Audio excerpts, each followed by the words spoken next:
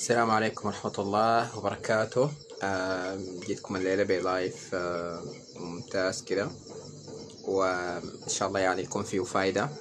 و يعني الناس تقدر تستفيد منه وهي فرصة يعني الناس يعني تقدر آه، تاخدها ب- بجدية يعني كده إن شاء الله. آه، معكم محمد محجوب آه، مدير التنفيذي لفريق المبتكرين الصغار ومشرف في جروب بحثين السودانيين. ومنسق الأسبوع العربي للبرمجة آه، ومنسق الأسبوع الإفريقي للبرمجة في السودان.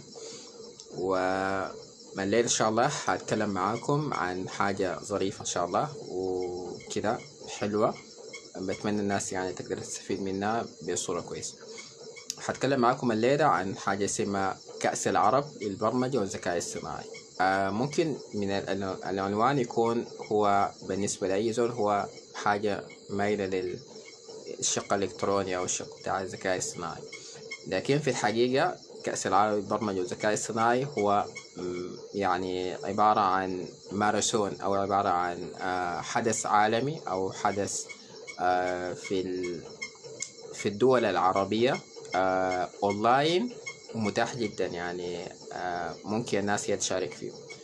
طيب آه، الحاجة دي آه، بت أو بتجينا ده سؤال تاني أو المعلومة دي بتدخلنا سؤال تاني أنه الفئة العمرية المتاحة أنه هي تشارك في الحياة دي هي شو؟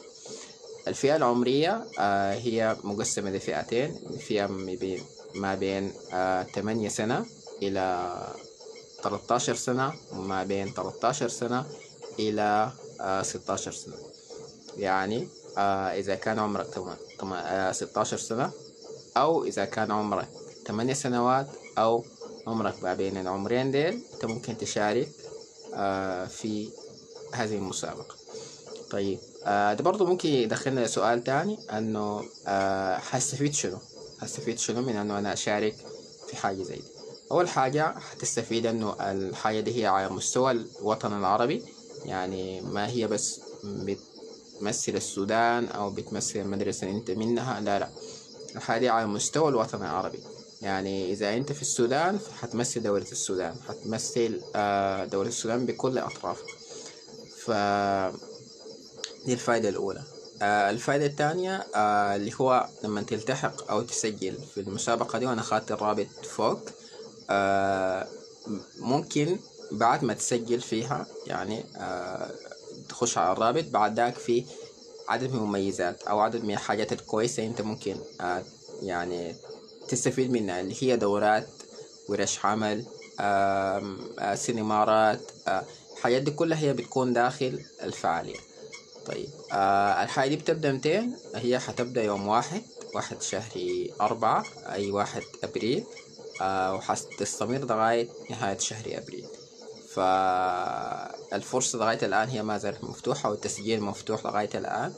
آه الفرصة هي لكل أطفال السودان من عمر 8 سنوات إلى عمر 16 سنة. آه متطلبات بسيطة شديد. آه أنه يكون عند الطفل تابلت أو جهاز بتاع حاسوب عادي. بغض النظر عن مواصفاته شنو. آه الحاجة التانية يكون هو مهتم بالتكنولوجيا أو مهتم بالبرمجة عموما أو عنده اهتمام بالحاجة دي.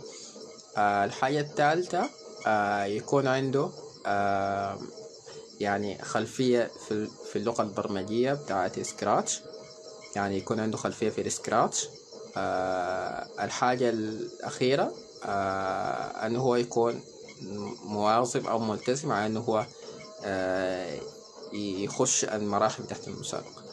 وده بيجينا المحور الثاني آه اللي هو مراحل المسابقة شنو؟ آه المسابقة بتكون من أربع مراحل. كل مرحلة بيكون فيها تصفيات. كل تصفيات بيكون فيها عدد معين آه بيختاروه طيب آه أول مرحلة اللي هي مرحلة التسجيل آه بيكون فيها اختبار خفيف آه بيتأهلوا منه مية آه بيتأهلوا منه ألف طالب وطالبة على مستوى الوطن العربي. يعني أي زول سجل بعد ما سجلت بيكون في اختبار بسيط آه ده الذكاء يعني آه بعد ذاك إذا قبلوك يعني بيختاروا من الناس اللي قدموا واجتازوا الاختبار ألف طالب وطالب. بعد ذاك ديل بينتقلوا للمرحلة الثانية آه واللي هي آه برضو فيها اختبار في ال coding في ال IQ هو ال IQ برضو اختبار الذكاء وال coding اختبار برمجي بسيط. آه دي بيتأهلوا منها ميتين وخمسين آه طالب وطالبة.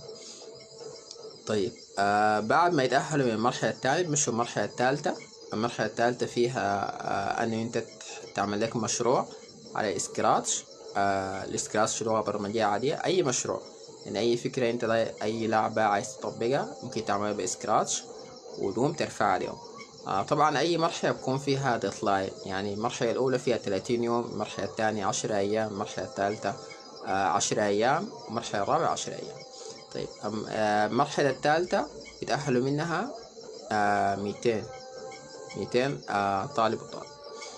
آه بيتأهلوا المرحلة الرابعة. المرحلة الرابعة برضو هي بتكون آه المرحلة الأخيرة بيتأهلوا منها 18 طالب وطالبة.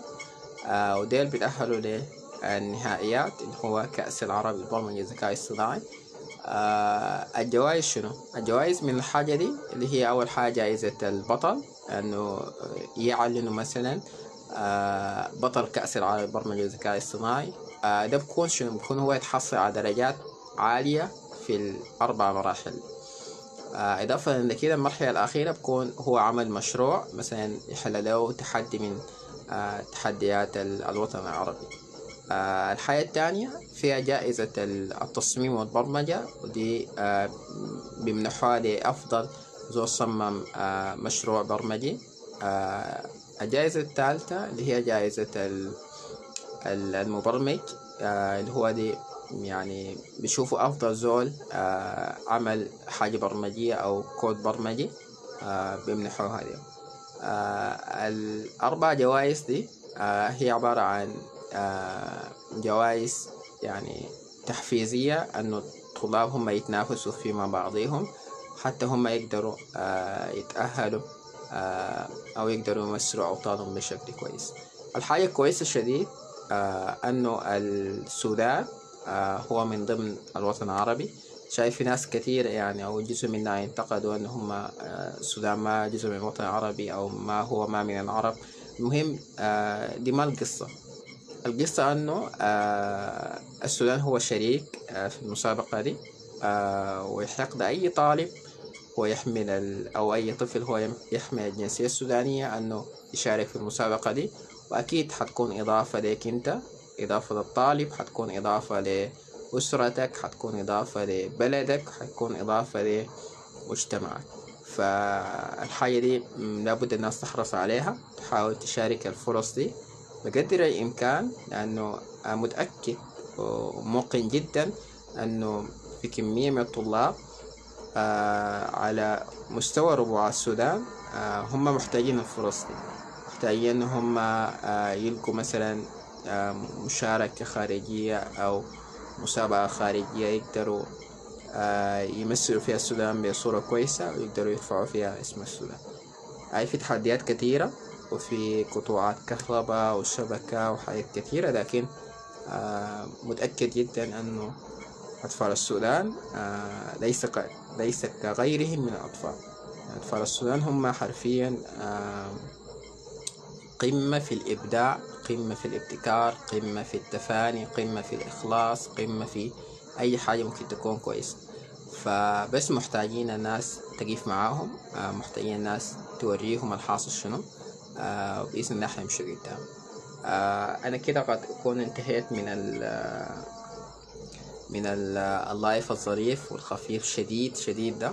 أه بتمنى الناس اللي هي عندها أسئلة تحاول تسأل تحت.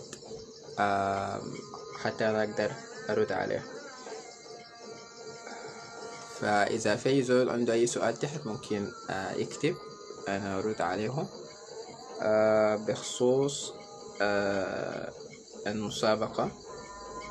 طبعا في برضو جائزة أه من جوائز المسابقة اللي هي كأس العرب للبرمجة الذكاء الصناعي آه اللي هي تعتبر آه جائزة العرض والتقديم.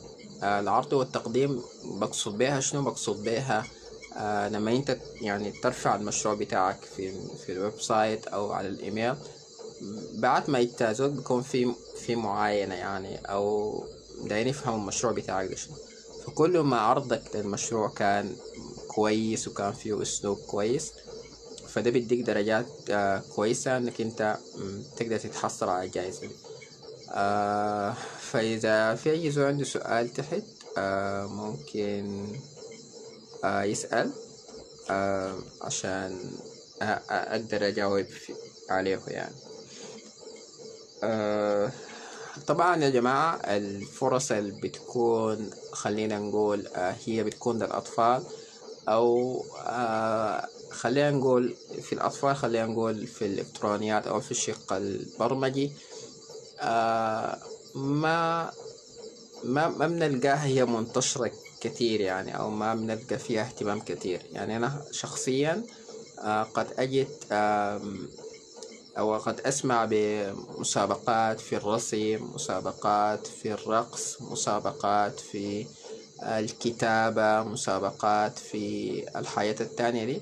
لكن ما وجدت يعني آه، مسابقات في البرمجة وفي آه، في الإلكترونيات.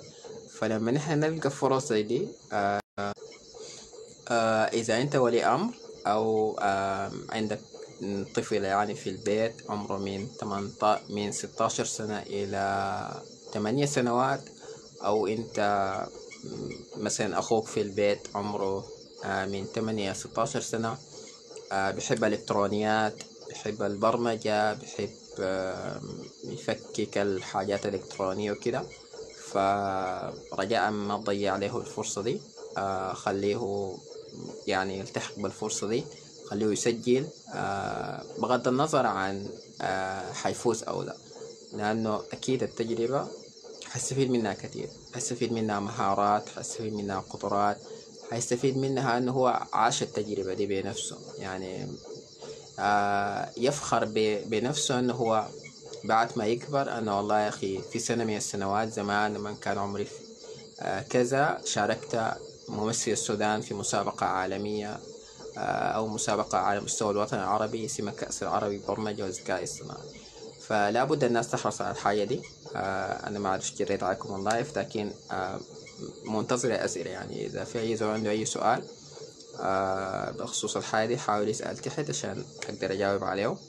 آه، إذا ما في سؤال أنا أقوم ألخص لكم ال live ده ونكفي على كده آه طبعا من أهمية الحاجة دي آه أو من أهمية إنه أنا أطلع live في, في حاجة هي قد تمثل آه لأي طفل هو مهتم بالإلكترونيات أو مهتم بالذكاء الاصطناعي بتمثل. له أهمية كبيرة.